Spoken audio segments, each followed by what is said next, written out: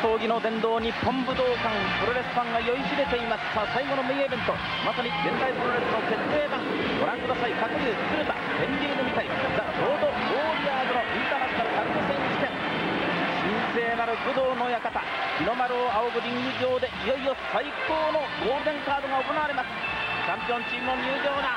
長州組から1年ぶりで奪還したベルト今夜初防衛戦。最強チームにはこれまたアメリカ最強チームが挑戦してまいりました。チャンピオンの宿命でありますが正直なところベルトの不安は隠しきれません。何しろデビュー以来ポール負けなしという信じられない記録を更新中のウォーリアーズ。日本最強の鶴田天竜ならしかしポール勝ち防衛も期待するファンが大いにいます。どういう試合内容になるんでありましょうか。チャンピオンチームが先に入場してここで試合の前に日本テレビ並びに番組のスポンサーから豪華な花束の贈呈でございました。さあ鶴田天竜堂々と渡り合ってリング上で決着を果たしてつけられるかどうか。この鶴田天竜なら筋肉の要塞を粉々にする力は十分にあります。さあチャレンジャーチームの登場。ザ・ロード・ウォーリアーズの入場を待ちます。大観衆の日本武道館。さあアニマル・ホークそしてマネージャー・コールザ・ロード・ウォーリアーズの登場であります。鶴田天竜のインタータッグに挑戦だ。あの60年の両国国技館ではダッシュできません。2度目の挑戦。今最強のタッグチーム全て欲しいものが手に入れる力を備わっていますパワーレスリングの復活要塞のような肉体美この日本での知名度人気度はこの6回目の来日で確実なものになりました。一気に日本武道館を制圧。さあベルトがかかっているぞ。鶴竜は鶴竜は読みが深いぞ。パワーでは勝るこのロードウォーリアーズ。それが果たしてベルトに結びつくかどうか。チャレンジャーアニマルフォーク日本武道館に堂々仁王立ち。試合時間は60分の一本勝負です。陸上ではインターナショナルタッグ選手権タイトルマッチ宣言。WA が PWF が認定するインターナショナルタッグ選手権試合であることを宣言する1987年3月12日ナショナルズインターアイランスボブ・カイエルパシフィックレスリングフェデレーションロード・ブレアーズ続いてリング上ベルトの返還。この暴走選手のレスリングの組み立ては言ってみれば非常にこの単純明快なパターンであります。テクニックと頭を駆使すればこの鶴竜は筋肉軍団をキリキリ舞いさせることは十分に可能であります。ベルトが一時本部席に返還されました。初防衛戦。両チームの紹介だ。本日のメインイベントインターナショナルタッグ選手権試合60分一本勝負を行います。青コーナー上チーム590ポンドザ・ロード・ウォーリアー。チャレンジャーだザ・ロード・ウォーリアー動く筋肉上トータルウェイト255キロのパワー。ザ・ロード・ウォーリアーズ。インターナショナルタッグ選手権チャンピオンチーム260ポンド天竜。天竜。ウォーリアーズだろうがびくともしません。自信のこの顔天竜けてアニマルフォークを必ず倒すジャンボ鶴田だ王者チームが最後に紹介されました。まず馬場さん。ジャンボ鶴田天竜チームどういう作戦で今夜ベルトがかかっています？望むべきでしょうか？そうですね、はい。彼まあ、彼らのね大技を食うなっつってもこれは無理ですからね、もう接近すれば抱え上げたりね、はい。上げられたり投げられたりしますからね、えまあ飛び道具はいいと思うんですけどもね、えはいさあゴングが鳴ります。世紀の一戦。ゴールデンカード。夢のカード。さあインターナショナルタッグ選手権。黒川が出てきた。相手はアニマルだ。山田さん鶴竜がボールしてやろうというような意気込みはあるんですけれどもこういう色気は出していいんでしょうか？いやもちろんね、ええ。それは色気というよりも絶対そうしようと、はい。これは王者として思ってるでしょうね、ええええまあ、ただね、それが実現できるかどうかは分かりません。はいでもね、そうやってね、ええ。そういうやっぱり意地を張り通すとね、はい。かえって危険なことが生じるかもしれないですよね。そうです。か。アニマルが後ろですかだフライングショルダータックル鶴田倒れた。そして持ち上げてウォーリアーズレフト。大観衆ゴーという声援。度肝を抜かれています。日本武道館。対角線上に力いっぱい。鶴田いった。タイミングがあった。キックラリアット倒した。アニマルを倒した。防衛だ。防衛だ。防衛。うわーっと持ち上げますはい。気力充実。まさにスリリングな展開だ。これぞ山田さん。現代プロレスのプロレス絵巻ですね。そうですね。興奮しますね。まさにね、はい。アメリカの最強タッグチームとええ。いうにふさわしいね、はい。まあ、単なる筋肉軍団じゃないですよ。そうですね。鶴田が見せ場を作った後は今度は天竜だ比較的楽なシリーズを送った天竜としてはこの大一番待ってました。天竜は言ってます。ザ・ザロードウォーリアーズの後頭部を狙え。俺のエンズ入りで必ずピンボールとはっきり言ってました。また対角線より投げたがラリアット。バイオレンスラリアットが飛んでいく。アニマルではありません。ホークであります。フォークの力が1段も2段も上がってまいりました。おっとうまい。仁王立ちのところ下から突き上げました。余裕が出てまいりました。天龍後頭部後頭部。いったヒット。エンゾイヒット。エンゾイヒット。さあ鶴田に渡すかひとまず天龍が大暴れであります。サソリいやーすごい。鶴天竜。サソリサソリさあ行くぞ行くぞ。おっと。あー正面から今度はバイオレンスラリアットの返礼であります。アニマルが出てまいりました。馬場さん天竜の今の技の組み立てどうですか？いやいいですよ、はい実に冷静ですね。今日はね、はい。鶴田選手も天竜選手も、はい。やられたらすぐものすごい反撃をしてますね、えー、そうですね。これやはり王者ですからね、はい。当然のことかもしれませんが、え相手はとにかくザ・ロード・ウォーリアーズですからね。はいはい。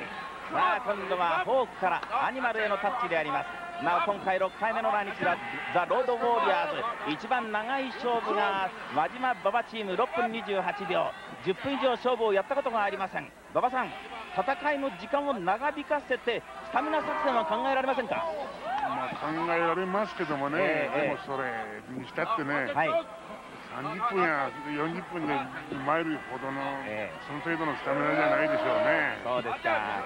それから放送席馬場さんも下半身への集中攻撃こういう言っておりますがしかし何しろスピードがあります。足も強いロードウォーリアーズ下半身もね、はい。やっぱ力ありますよ。そうですね。こういう技を連発ですね。そうなんですね。さあバックドロップは見事に決まった。正面を向き合います。本当にね。お互いにタッチ。一発じゃどうしようもないですね。ああ本当そうですね。軽くね、えあ外されてっていうか、もう浮かされてしまいますね。えはい。さあということになりますと狙いは後頭部破壊。これにあるかもしれませんさあ2人の作戦は何か？アニマルからフォークへつながれました。さあ力を見せつけます。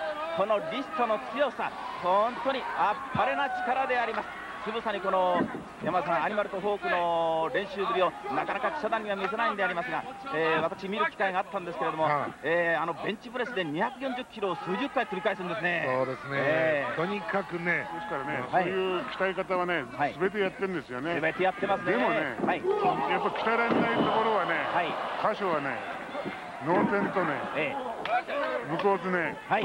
喉仏、こえーこだこの3箇所だけは鍛えられないんですよね。そうですか。ですから、そこを突くしかないですね。そうですか。ジャンピングニーパッドが今馬場さんご指摘のように喉元をついた。さあ鶴田が躍動する。おっとジャンボラリアット空振り。ああ相打ちか。馬場さん相打ちですか？今フォークの方が当たってますか、フォークのラリアットね、当たりの具合がね、やっぱり顔に、顎に当たったりするとね、ええ。当たり方が悪くても、あの顎に当たった方が弱いんですよはい、ね。おっと後ろからラリアットを打ちまくりました。いやー反対に鶴田後頭部を狙い撃ちされました。ホークのバイオレンスラリアットが火を吹いています鶴田がもう真っ逆さま頭から倒れ込みました。インターナショナルタッグ選手権ベルトはかかっています。山田さん冒頭に言いましたがベルトを守るだけだったら簡単なんですよね。うん、だからね、ええ作戦はいろいろあるでしょうけど、はい。まああのただね、本当に繰り返すようですが、はい。え綺麗に勝とうとか、ピンフォールでっていうと、本当にね、罠が待ってると思うんですね。あーなるほどね、ええ。さあ右の肩に乗せました。あーショルダーバスターに行きます。ホークそして再びアニマルに渡しました。さあここはこのアニマルに渡したところでありますのでここは粉砕したいところだ。鶴田今あまだタッチをしません。まだタッチをしません。今ここで天竜にタッチだ。相手はアニマルだ。さあダブルの攻撃だ。ダブルの攻撃だ。やった猛練習を積んでまいりました。鶴竜。これだけいいパンチをはい。下に切って起きてきますからでね。きますね。果たして何をやっても通用しないのか。さあ筋肉上を破壊するのは何がいいのか。いやーストンピングすごい。すごいすごいストンピングアニマルのストンピング体をねじ曲げてここでフォークに渡した。得意のダブルの攻撃。とうとうザ・ロードウォリアーズの核弾頭が飛んでくるのか。さあ今度はさあ。もうそっちをえぐってまいりました。いやーいろんな技を仕掛けます。アニマルとフォーク。えー、指示を出しておりますのはリングの下におりますポールであります。さあインタータッグは2度目の挑戦。これでベルトを奪還して凱旋ということになるか。ザ・ロード・ウォーリアーズ。鶴田天龍はまだこれがマネージャーのポールであります。1回ずつ動きのたんびにいちいち指示を出しています。このマネージャーのポールもくせ者だ。さあ相手は3人だ。ジャンボ鶴田と天龍。ちょっと天龍がひるんでまいりました。パワーの前に屈するのか。ホークがすごい勢いでフィストドロップを打ちまくっています。さあ天龍だ。天龍起き上がりました。まだ表情は表情は大丈夫のようです。まだまだ頑張ってもらいたいですね山田さん。そうですね。えーもう一回ピストドロップを目の中に入れたような感じ。さあここで起き上がってさあキャメルクラッチホールド。再びキャメルクラッチに行きます。フォークの攻撃非常に多彩であります。ちょっと馬場さん押されてますか鶴竜？まあそうですね、パワーではね、かないませんよ、どうやってもね。ああそうですか。ですから、そのね、パワーをなんとか利用してね、はい攻められりゃいいんですけどもね、ああそうですね。ちょっと今いじめられています。天竜であります。はい。なかなか難しいですよ、それはね、僕もこの前ややろうと思ってやりやりましたけどもね、ええ。やっぱりそうはいかないですね。そうですか。どういう作戦が果たしていいのか。さあレフェリーの資格をついてアニマルからフォーク巧妙にタッチいたしました。アメリカ感覚のこのペイント非常に不気味であります。アニマルとフォークであります今日山田さんアニマルとフォークも非常に頭を使ったインサイドワークに優れたレスリングですね。そうですね。パワーだけではありませんね、まあ相手がね、あの音に、えー響いている白龍コンビということでね、それなりのね覚悟でリングに上がってますね。長州康からベルトを奪還した鶴竜初防衛戦。長州康との今後リターンマッチの準備ももちろん考えている鶴竜。欠場の長州に対しまして休んでいればただの人間。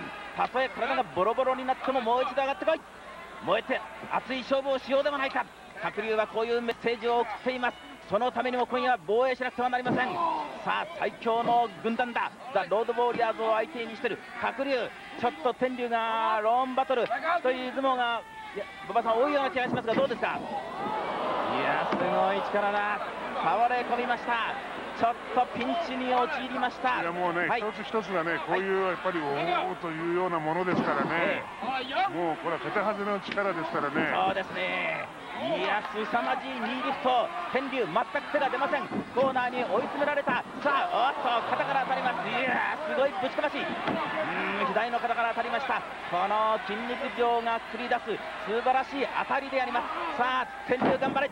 天竜たじたり。今度はボディスラムだ。そして、ゆっくりとコーナーに上がって、さあ、フライングブレーンパンチもあるぞ。なんだ、おっと、ヘッドパットは失敗。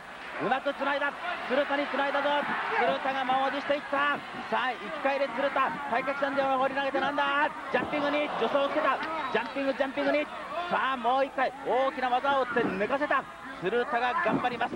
鶴田はあの NWA 世界ヘビー級選手権ビッグフレアに惜しくも牙城を崩すことはできませんでしたけれどもしかし勝負内容では勝っていた鶴田。さあ今度はテキサスクローバーホールドですね山田さん。いや、サソリですね。えーサソリですか、ええ。右足軸ですね。サソリ固めに入っています。ジャンボ鶴田でありますこれを世界チャンピオンビッグフレアにも見せました。自信を持っているジャンボ鶴田の最近の新兵器となっておりますがさあフォークを捉えて得意のバックドロップ。豪快。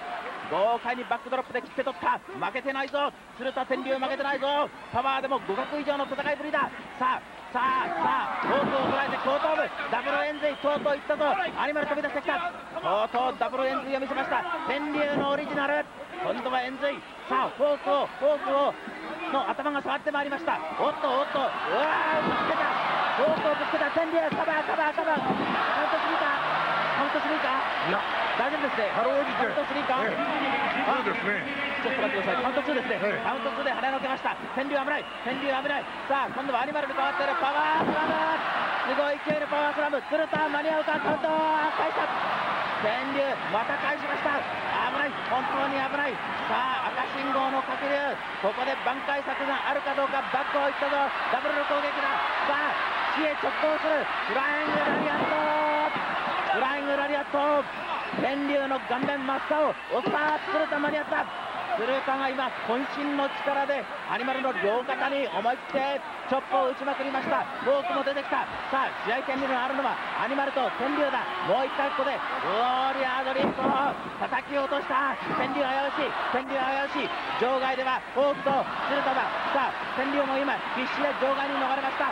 さあ必死で4選手が外、フォークのラリアットを鶴田が場外で受けている、天竜の動きはどうか、アニマルに捕まっている、フォークの加勢、ああ、逆さずりにされた、ああ、すごい脳天小打ち、ダブルの脳天小打ち場外、さあ、どうだ、さあ、どうだ、入ってきたのはザ・ロード・ウォーリアーズ、入ってきたのはザ・ロード・ウォーリアーズ、カウントが続く、ああ、場外カウントアウトか、場外カウントアウトか、ロード・ウォーリアーズの勝利が告げられております。勝利が告げられております。さあベルトは移動するのかどうか。馬場さんどうなんですかこれは？いやもうこれ当然ベルトは移動しますね。ますね、TWF のルールでありますのでリングアウト勝ちでもベルトは移動。ザ・ロード・ウォーリアーズ2度目の挑戦でベルトダッシュ。ザ・ロード・ウォーリアーズが11分17秒。リングアウト勝ちを拾いましてインターナショナルタッグのベルトを勝ち取りましたいやーもうね、一時は大変にいい攻めを見せていたんで、はい。ちょっとうまくいったなと思ったんですが、はい。やっぱりパワーの前にね、ええ。圧倒されましたね。無念残念ジャンボ鶴田天竜チーム。これで馬場さんザ・ロード・ウォーリアーズはアメリカにベルトを巻いて凱旋帰国ですけれどもこうなったら白龍はアメリカまで追っかけなきゃいけませんね。どうするんですね。今後の今後のスケジュールは大変ですよ。海外流出ですまた。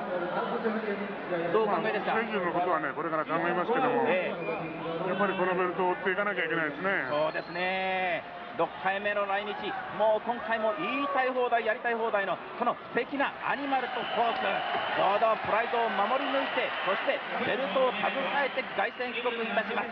さあこうなりますと次なる狙いはこのザ・ロード・ウォーリアーズ。4月に行われる世界タッグ五輪2でありましょうか。V2 を達成する可能性が十分にありますがこのインタータッグのベルトを巻いてタッグ五輪に出場いたしますがさあえらいことになりました。